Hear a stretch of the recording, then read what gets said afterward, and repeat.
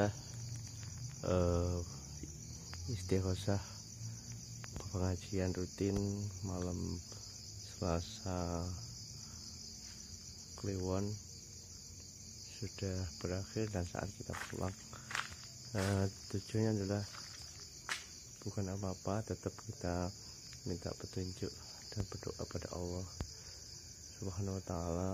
Kita tidak uh, berniat untuk apa pun kenapa kita memilih ke alas purwo ini? Karena tempatnya selain sejuk tenang jiwa tenang. Kita kita memilih tempat uh, alam karena uh, biasanya kita mengadakan istighosah ini di rumah ke rumah atau di musola-musola dan di masjid.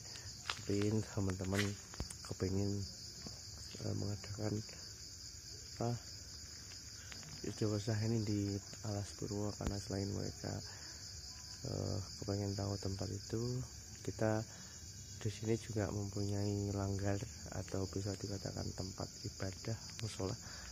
Ya kita rutin uh, intinya tidak sirik ya intinya.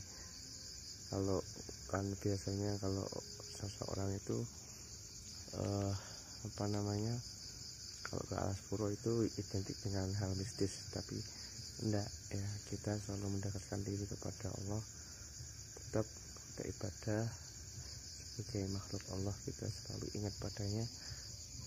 Ya, ya selain kita uh, bersahabat dengan alam kita juga uh, apa namanya menghargai sama-sama menghargai makhluk Allah di sini.